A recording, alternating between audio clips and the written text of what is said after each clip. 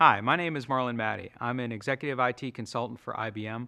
I run a platform agnostic consulting group called Scorpion. And what we do is cross platform cost of ownership engagements.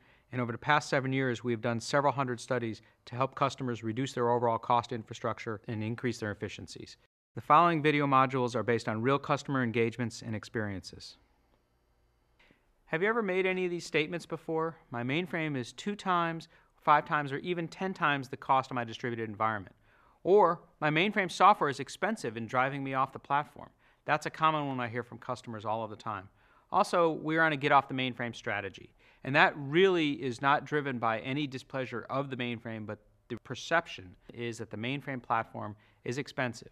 In reality, what most CIOs actually are concerned about is the fact that they keep adding servers and they keep adding people. And how are they going to support that? How is the infrastructure going to support that growth in that environment? So the real question is, is, is this a perception or is it a reality that the mainframe is more expensive than the distributed platforms? The reality is, is when we do customer studies and engagements, what we find is that the mainframe cost in about 80% of the situations is plus or minus 20% of the cost of a distributed environment, which really says it's not a cost issue, it's a question of value. What is the value of one platform versus another when you're trying to look at the comparison of two different platforms? This is taking into account all the different cost aspects that are required and making sure that we are really doing an apples to apples type comparison. Am I counting all the servers? So I want to look at all the production, development, test servers. Am I counting everything there? Is my utilization rates realistic? Okay, when I look at the utilization rates, you can't look at just a specific server or the key peak numbers on certain servers, but you really want to look at your overall environment for all the servers that are involved in that application or that overall workload. There's always a server that spikes and is very high, okay, but the real utilization when you look at a distributed environment tends to be much lower um, than a lot of the quotes that you tend to hear. And you really want to look at the overall utilization of that environment over your overall infrastructure and what you're looking at there. So those numbers tend to be much lower, even with partitioning and even with virtualization these days. You still see those numbers dramatically lower than what you're going to see in a mainframe environment. Also, you want to look at your software assumptions. You can't use average software rates, which can be grossly understated because the reality is, is you're trying to compare real workload, database, and application type workloads. And those are processor based licenses in most cases and can become very expensive when you have all of the distributed servers that are associated with a particular application. On the mainframe side, you have your mainframe software licenses both through IBM and through the ISVs, and everybody knows exactly where they are and how much they cost and how to account for all of those. Another thing to think about is the impact on facilities. In the, in the old days with water cooled machines, you basically were looking at facility costs being about 80 to 90% of your data center costs. And now you're looking at it being about 10 to 15, whereas 80 to 90% is now on the distributed side. What happens in many business cases is the customers don't actually include those costs in the business cases, or they're held at some corporate level, which is a big mistake. So one of the things we now try to do is make sure we include that in, although the reality is, is if you're looking at rates standard rates when you're looking at a 50 server, 100 server type environment or a one mainframe box is not going to be a significant amount of money. It's going to be about 5%. But you really want to look at what's the real impact in that environment. One of the things that people do, and cus- customers will look at a fully burdened cost methodology, or sometimes referred to as a chargeback methodology.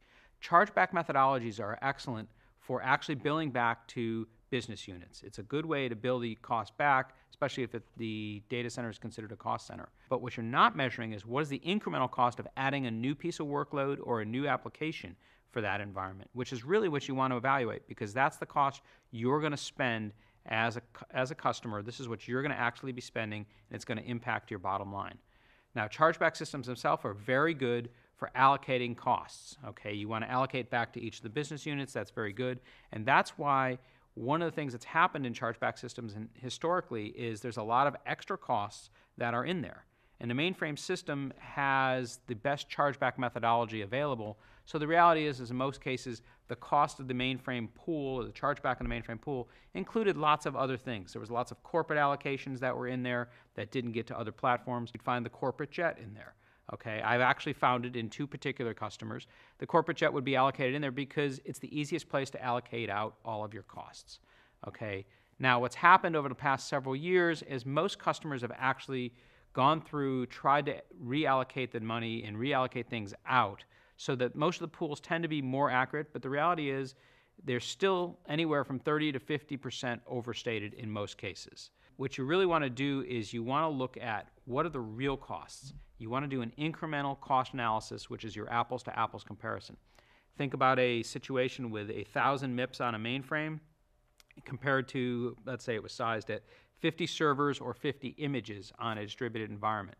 When you look at the distributed environment, you look at those 50 servers or images and you take a cost per hardware box, you look at the actual software cost, you look at the licenses, um, whether it's an enterprise license, whether it's a, uh, a system wide license, server license, or a processor based license. And when we're looking at real workloads, you have to look at those processor based licenses. So when you look at all of that, comparing to on the mainframe side, on the mainframe side, you've got the hardware where you're looking at an average rate. What they tend to use in a lot of cases is my average mainframe rate is 3 to 8K per MIP.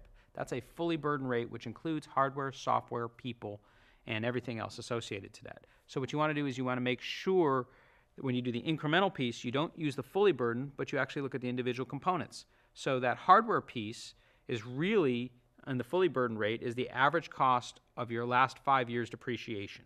So you're now paying, you're actually allocating cost based on what you bought equipment for five years ago, which is appropriate, but not when you're trying to compare against today's cost on a Unix environment. So what you want to use is today's actual mainframe hardware cost. When you look at your software side, you're looking at where you are on a software curve on a mainframe, which actually has a flattened slope. And when you look at the flattened slope and the incremental aspects of that, it's typically only about 20 to 25 percent of the fully burdened cost. So what you're talking about is a full burden cost methodology, which is actually five times more expensive, and that's what you would be using in that type of allocation. On the people side, you want to think about what are the incremental people I'm going to add on the mainframe environment.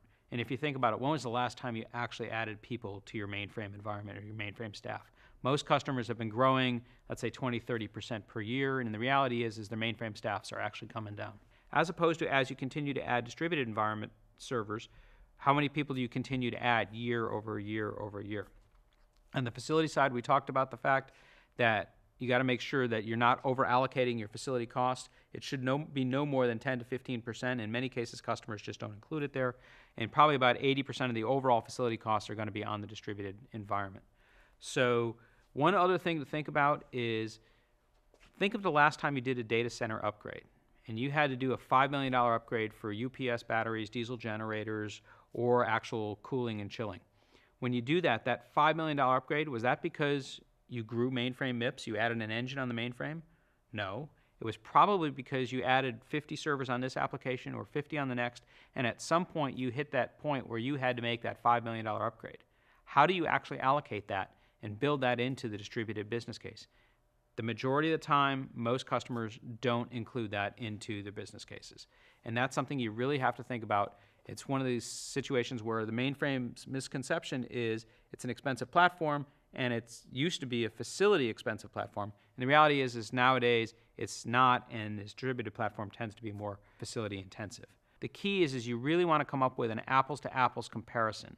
Make sure you're going to do an incremental comparison, which is what you naturally do on a distributed environment to an incremental comparison on a mainframe environment.